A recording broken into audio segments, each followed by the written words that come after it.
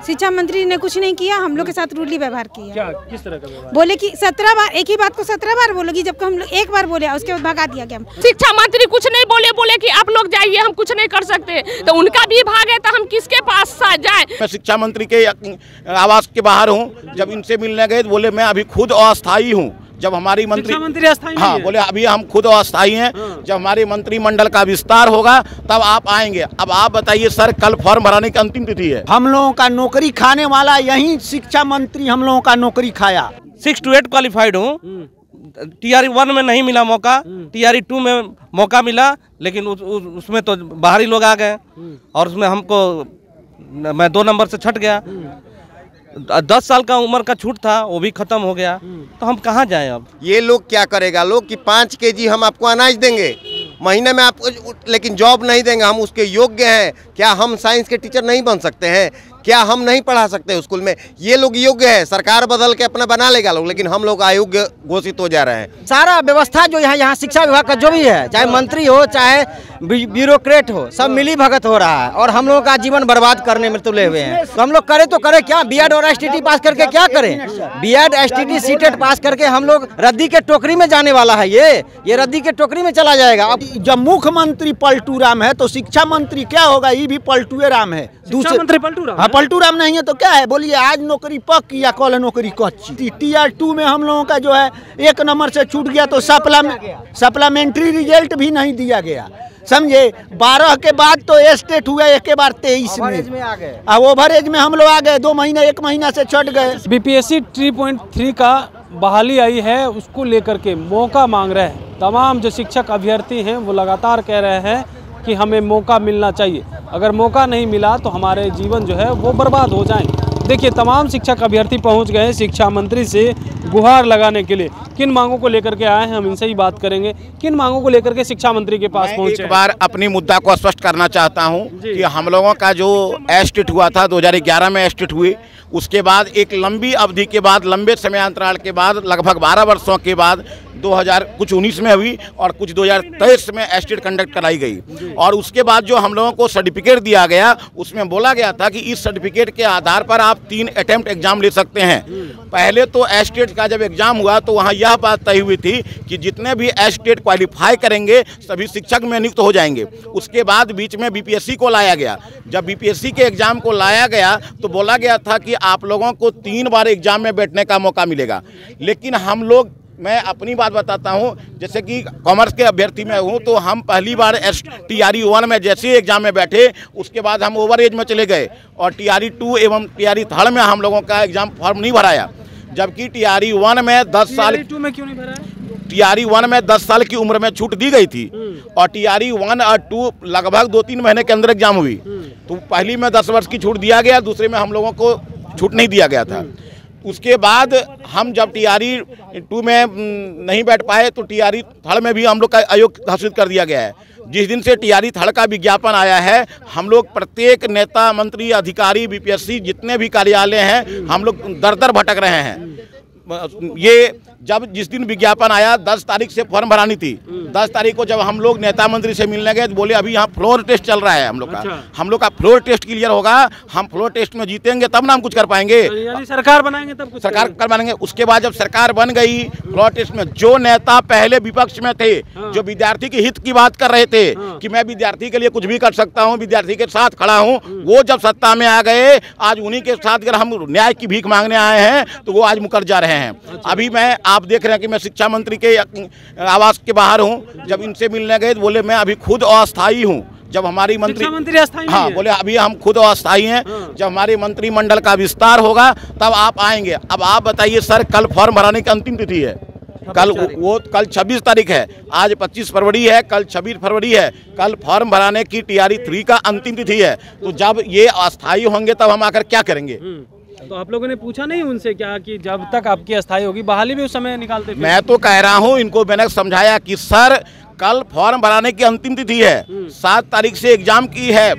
तो आप ये बताइए जब आप अस्थाई होंगे तो हमारा टी थ्री तो निकल जाएगा। टू में हम बैठे नहीं। तो मैं कह रहा हूँ कि जो भी करना है अगर आप आज कुछ कर देते तो हमारा कल फॉर्म फिलअप हो जाता। लेकिन इन्होंने कहा अभी हम कुछ नहीं कर पाएँगे इन्होंने आश्वासन भी नहीं दिया। और उसके बाद भी सम्राट चौधरी के आवास पर भी गए थे। जो हम लोग आवेदन दे रहे हैं उसकी रिसीविंग भी हमको नहीं मिल रही है। अच्छा। अगर कल आप कहेंगे कि आप रिसीविंग दिखाइए आवेदन दिए हैं वो भी मेरे पास नहीं है। मैं सम्राट चौधरी जी के आवास पर जब गया मॉर्निंग में पाँच बजे से खड़ा रहा। साढ़े बजे से खड़े रहे। एकदम कड़कड़ाती उस दिन तो वेद कहते हैं शिक्षक के साथ हैं हम लोग उस दिन कहते थे कहते थे। आप नहीं कह रहे हैं। कहते थे कि हम विद्यार्थियों के साथ हैं लेकिन अब नहीं है। तो कह रहे हैं। अभी कहाँ सुन कहाँ रहे हैं? सुनते तो आज हम लोग पच्चीस तारीख हो जाता हम लोग फार्म भरते हैं। अच्छा। मैं मैं सिक्स टू एट क्वालिफाइड हूँ। टी आर वन में नहीं मिला मौका टी आर टू में मौका मिला लेकिन उस, उस, उसमें तो बाहरी लोग आ गए। और उसमें हमको मैं दो नंबर से छट गया। दस साल का उम्र का छूट था वो भी खत्म हो गया। तो हम कहाँ जाए अब? किसके पास? हर बार बहाली आती है हर बार नियम बदल दिए नियम ये बीपीएससी का रूल है और शिक्षा विभाग का कि जब बहाली निकले आप क्या नियम बदल दीजिए। सर हम लोग 2019 से स्टेट पास है। ठीक है? यही शिक्षा मंत्री थे कि जो हम लोगों को आश्वासन देते थे जो भी पास कैंडिडेट है आप लोग इतना ना मिठाई खा लीजिएगा दिवाली के पहले ना कि आप लोग को मिठाई दूसरा खाने की ज़रूरत ही नहीं है। अच्छा। क्योंकि हम लोग दे देंगे जॉब उसके बाद से ये लोग सरकार से जाता है लोग फिर आता है लोग। बीपीएससी आता ही है यहाँ पे एग्ज़ाम लेने के लिए। बीपीएससी के द्वारा ठीक है स्वागत योग्य है कंडक्ट कराया जाता है। हम लोग एक दो नंबर से रह गए हैं साइंस है। और जनरल से हम बिलोंग करते हैं सैंतीस साल उम्र मेरा ओवर हो गया है अड़तीस साल हो गया है। केंद्र सरकार अभी रेलवे लोको पायलट की वैकेंसी निकाली। मतलब कि पिछले जितने भी वैकेंसियाँ निकली है सबसे कम है। 2018 के बाद सब वैकेंसी निकली है जो साढ़े पाँच हज़ार के लगभग वैकेंसी है। इतना बच्चे आंदोलन किए हैं। उसके बाद भी इन लोग के कान पे जू नहीं रहेगा। वही हाल है। ये लोग क्या करेगा? लोग कि पाँच के जी हम आपको अनाज देंगे। महीने में आपको लेकिन जॉब नहीं देंगे हम उसके योग्य हैं। क्या हम साइंस के टीचर नहीं बन सकते हैं?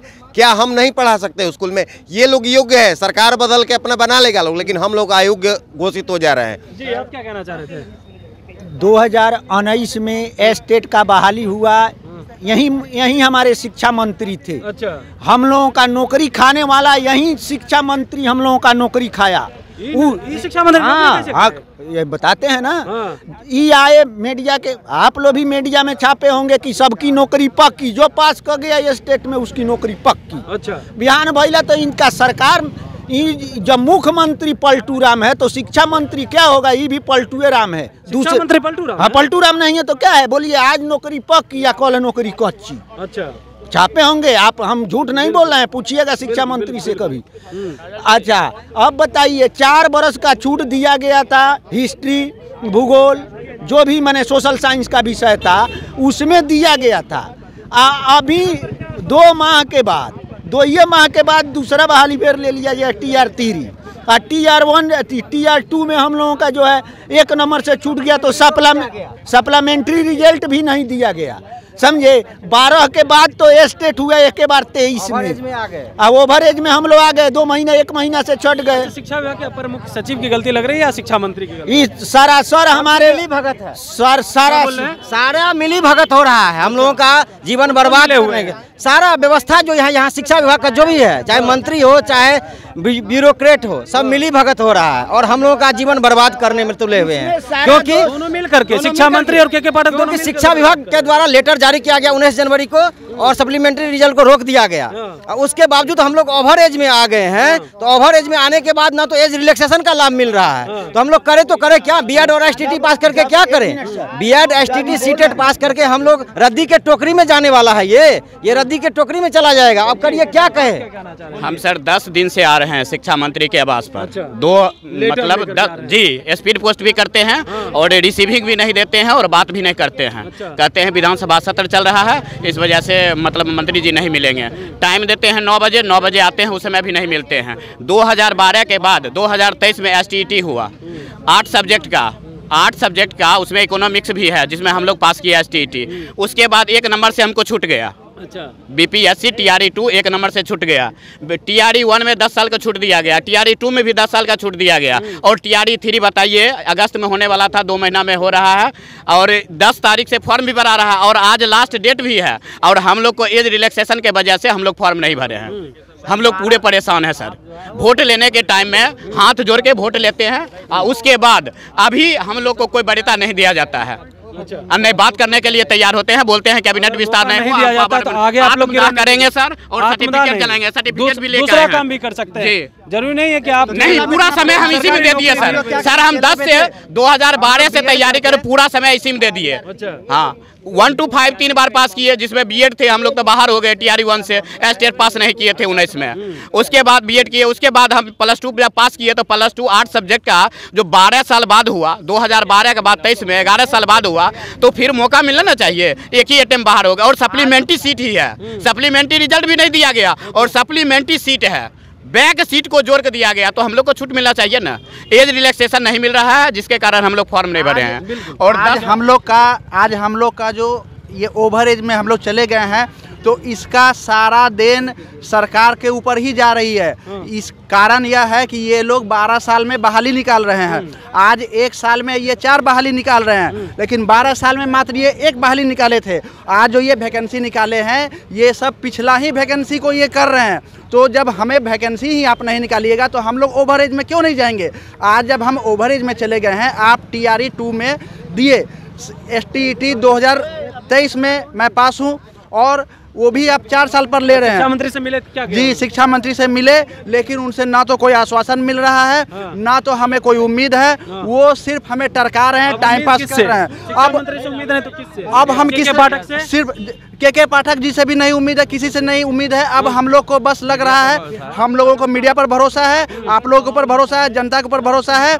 ये लोग कुछ नहीं करने वाले हैं बस टाइम पास करते हैं और कुछ नहीं करते हैं। नीतीश कुमार से उम्मीद है? जी मुख्यमंत्री जी से उम्मीद है और हो सकता है मीडिया के माध्यम से हम आपके चैनल के माध्यम से उनके कानों तक हमारी आवाज़ पहुँच रही होगी। तो हम आपके समक्ष हाथ जोड़कर उनसे तमाम अपने बंधुओं की तरफ़ से हाथ जोड़कर विनती कर रहे हैं कि कृपया हमारे समय को जो नष्ट किए हैं हमने जो पैसा नष्ट किया है हमारे जो डिग्री समय को नष्ट किया आपका? सरकार के कारण हमारा समय नष्ट हुआ कारण कि 12 साल में आपने बहाली नहीं लिया। अगर आपने बहाली रेगुलर रूप में लिया होता ये जो B P S C T R E two point O हुआ है उसमें मैं इंग्लिश सब्जेक्ट के लिए नाइन टेंथ के लिए मैंने एग्ज़ाम दिया था उसमें मुझे 63 मार्क्स आया है। 67 मार्क्स पर इसमें ई डब्ल्यू एस का सिलेक्शन हुआ है। तो क्या अगर हमें एक एक या दो अटैम्प्ट और मिलता तो क्या हम उसमें पास नहीं कर पाएँगे? दो, चार नंबर हमारा कुछ हड़बड़ी के कारण या किसी कारण हमारा कम नंबर आया है तो हमें एक, दो अटैम्प्ट और मिलेगा तो क्या हम इसे पास नहीं कर पाएँगे? आज बहुत ही विडम्बना के साथ मैं आपके चैनल के माध्यम से यह कहना चाह रहा हूँ कि नियोजित शिक्षक भी कुछ अपनी मांग को उठा रहे हैं। उनका कहना है कि हम ना तो परीक्षा देंगे, ना ना तो हम परीक्षा देंगे और आप हमें नौकरी पर रखिए हमें राज्यकर्मी का दर्जा भी दीजिए और आपको यह जानकर बहुत हैरानी होगी कि सरकार उनकी बातों को बहुत गौर भी कर रही है। आगे कहाँ जाइएगा? शिक्षा मंत्री के पास आगे आगे और अब हमें आंदोलन करना होगा आत्मदाह करना होगा। हमारे जो बीएड का सर्टिफिकेट है एसटीटी का सर्टिफिकेट है वह तो बेकार हो जाएगा तो सबको हमें जलाना पड़ेगा। और एक बात और जला दीजिएगा। जी तो क्या करेंगे? आपके चैनल के माध्यम से हम यह कहना चाहेंगे कि सरकार द्वारा और कोर्ट के द्वारा यह कहा गया है कि टीईटी और एसटीईटी का सर्टिफिकेट वैलिडिटी लाइफ टाइम है। तो क्या हमारा लाइफ मात्र सैंतीस बरस है? शिक्षा मंत्री ने कुछ नहीं किया हम लोग के साथ रूडली व्यवहार किया। क्या किस तरह का व्यवहार? बोले कि सत्रह बार एक ही बात को सत्रह बार बोलोगी जबकि हम लोग एक बार बोले उसके बाद भगा दिया गया। हम आप लोग जाइए यहाँ से। क्या बोले एक बात को सत्रह बार बोलो हाँ। अच्छा इससे पहले क्या कहते थे ये शिक्षा मंत्री? इसके पहले कुछ नहीं सिर्फ़ आश्वासन देते ठीक है आप लोग का देखा जाएगा देखा जाएगा अरे अब क्या देखा जाएगा? अब तुम लोग का लास्ट डेट है। अब क्या देखा जाएगा? अब क्या देखेंगे वो? हम एक सप्ताह से घूम रहे हैं कभी मुख्यमंत्री आवास कभी शिक्षा मंत्री आवास कभी बीपीएससी ऑफ़िस कुछ नहीं सिर्फ़ आश्वासन मिला और जब आज लास्ट डेट हुआ है तो हमें भगा दिया गया। भगा दिया गया? बिल्कुल। क्या कहा गया? कह दिया गया कि जाओ यहाँ से। जाओ यहाँ यहाँ से जाओ। शिक्षा मंत्री से मिले, क्या बोले शिक्षा मंत्री? शिक्षा मंत्री कुछ नहीं बोले बोले कि आप लोग जाइए, हम कुछ नहीं कर सकते। तो उनका भी भाग है तो हम किसके पास जाए? हम लोग तेरह चौदह सेशन के स्टूडेंट है, दस साल दस साल के बाद इन्होंने बहाली निकाली मात्र एक मौका हमको टीआर टू में बैठने का मौका मिला, क्योंकि हम लोग का एज तो बैठा नहीं रहता है। एज तो दस साल तक माने बढ़ती गई जिसके कारण हम आज लोग हम लोग माने ओवर एज में हमारे जैसा लाखों भाई बहन छट गए हैं अब उनकी ज़िंदगी, रोड की ज़िंदगी हो गई है उन ना घर के हैं न घाट के हैं कहीं के नहीं रहेगा आप ही सोचिए कि हम लोग क्या करें पढ़ लिख कर इतनी डिग्रियाँ लेकर जिसका कोई महत्व ही नहीं रहा अब। सुन रहे थे तमाम जो शिक्षक अभ्यर्थी हैं वो काफ़ी रोष में हैं काफ़ी गुस्सा है इनमें और कह रहे हैं कि यह सर्टिफिकेट जो है जब 60 वर्ष के लिए कह दिया गया है कोर्ट के द्वारा तो क्या यह सैंतीस वर्ष के लिए ही है? यूट्यूब पर सब्सक्राइब और फेसबुक पर लाइक ज़रूर करें।